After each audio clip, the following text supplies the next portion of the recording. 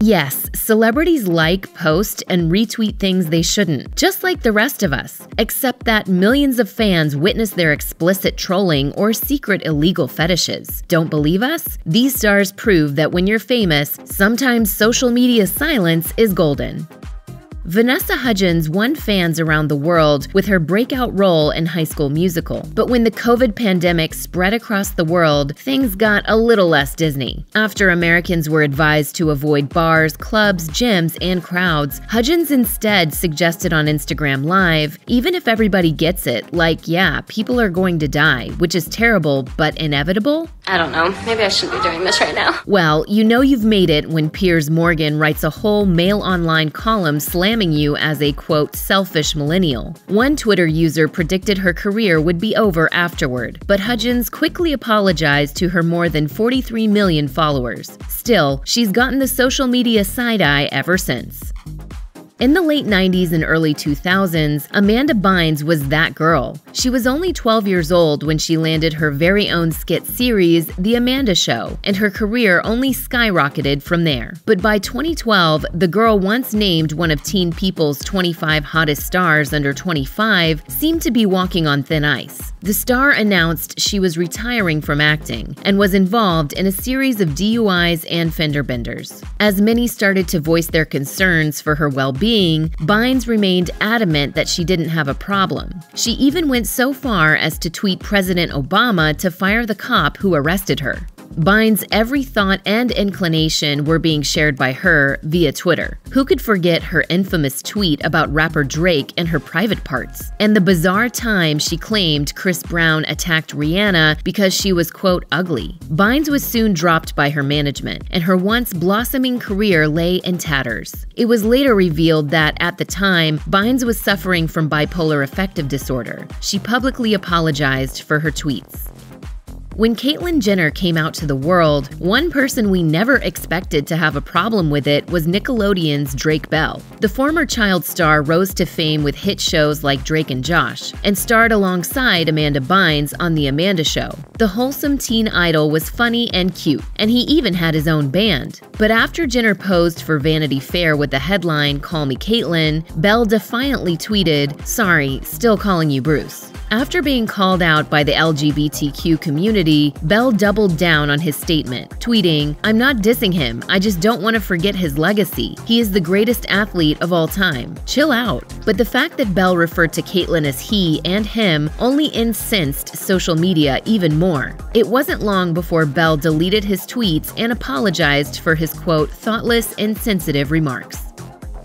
Skai Jackson won our hearts as the adorable Zuri Ross on Disney's Jessie. But her sweet girl next door image came under attack after a number of social media scandals. A Finsta is a fake Instagram account where you fail to disclose your real name. The account basically gives the user free reign to say anything without their good name being drawn into controversy. And according to rapper Bhad Bhabie, Jackson revealed on her Finsta account that she had a crush on rapper NBA Youngboy, who just happens to be Bhabie's ex. This ticked off Baby, since Jackson had apparently slammed her for getting a tattoo of his name on her face. Bhabie then took to Instagram stories to blast Jackson as a quote Disney thought. Jackson was forced to get a restraining order after Bhabie threatened to beat her up, but later dropped the case. A few months after that, former Kardashian insider Jordyn Woods shared a cryptic message online, blasting someone for coming for her little sister Jodi. Many assumed it was Jackson, as rumors had circulated that Jodi was dating Jackson's ex, Jules Smith. Jackson denied the allegations, but many started giving her the side eye, especially after a TikTok user accused her of bullying her at dance school.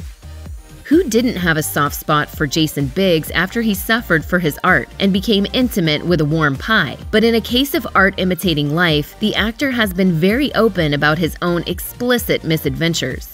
His wife, Jenny Mollen, revealed in her memoir, I Like You Just the Way I Am, that she once hired a sex worker for Biggs for his birthday. He says it didn't go as planned, explaining on The View, it took three ladies over the course of different days. Let's just say that I didn't complete the mission. I might have a problem. But it's what Biggs said on Twitter that caused him to land in hot water, with Nickelodeon, no less. In 2012, Biggs was getting his politics on by watching the Republican National Convention, and the actor made some highly inappropriate and sexualized comments about Janna Ryan and Ann Romney in a series of deleted tweets. At the time, Biggs had just signed on to voice Leonardo in Nickelodeon's Teenage Mutant Ninja Turtles series. The network responded in a statement Nickelodeon does not support or condone the use of graphic or vulgar language on any of our platforms. If you enjoyed Disney's Aladdin, you heard the voice of Gilbert Gottfried as Iago the parrot. Gottfried's comedic talents landed him a role on season 6 of Saturday Night Live, but comedy is, of course, subjective. And most would agree that Gottfried missed the mark when he made fun of the earthquake and tsunami that hit Japan in 2011, killing almost 20,000 people. Not long after the incident, Gottfried sent out a host of inappropriate tweets. He later apologized for his outrageous comments, but was fired from his role as the voice of Aflac Duck. Thus bringing closure to a horrible tragedy. In 2017, Gottfried caused even more social media outrage when Wendy Williams accused an unnamed comedian of groping her live on set. It didn't take internet detectives long to put two and two together and point the finger at Gottfried. James Franco was once the darling of Hollywood, but despite scoring rave reviews in Pineapple Express and 127 Hours, rumors of Franco's offset behavior began circulating online. Busy Phillips, Franco's co star on Freaks and Geeks, alleged in her memoir, This Will Only Hurt a Little, that he physically assaulted her on set. But the tide began to turn against Franco in 2014 when he was caught messaging 17 year old Scottish student Lucy Clode. Franco slid into her DMs after she tagged him in a selfie after watching him perform Of Mice and Men on Broadway. Although the age of consent is 17 in New York, the actor drew criticism for asking Clode if he should, quote, rent a room for them. He later issued an apology on Live with Kelly and Michael, admitting, I'm embarrassed. I'm just a model of how social media is tricky. In 2018, Franco was also accused by five women of misconduct, which he has denied. There were people that were upset with me, and I needed to listen.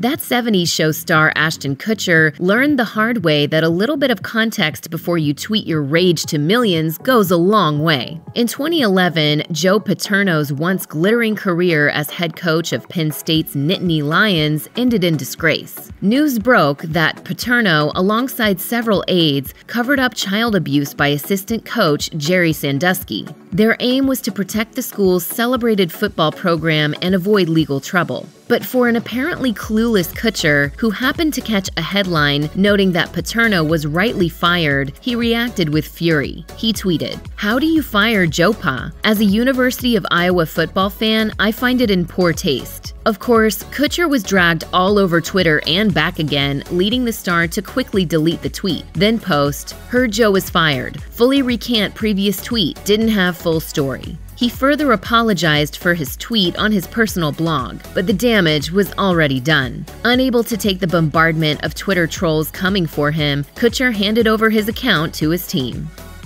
Actor Armie Hammer won rave reviews for David Fincher's The Social Network, and he secured an Oscar nom for Call Me By Your Name. But rumors of the real Armie Hammer had begun to emerge. On Twitter, Hammer was seen liking various BDSM posts and BuzzFeed even questioned whether his quote, white male privilege awarded him numerous chances in Hollywood after a series of box office bombs. I want to give you what you want, but I don't know what you're talking about. But in early 2021, an Instagram account leaked shocking messages Hammer had sent various women, while he was still married to the mother of his children, Elizabeth Chambers. The star spoke candidly about his love for BDSM, cannibalism, and assault. Fans also noticed he was following certain BDSM hashtags. A woman Hammer dated for four months also came forward and claimed he branded her by carving his initial A into her skin. In March 2021, another woman accused the actor of assault, which Hammer denied. The actor was dropped by his management team and forced to bow out of the film Shotgun Wedding alongside Jennifer Lopez.